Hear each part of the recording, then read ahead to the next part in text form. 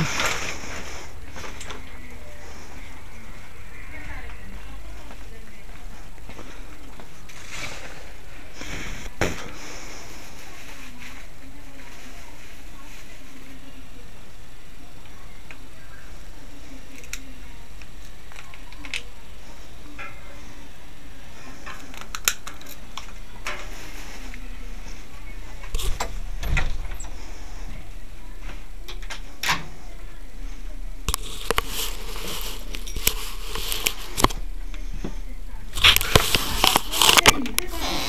existe alte momente de aici în viața Victoriei, să sperăm că lucrurile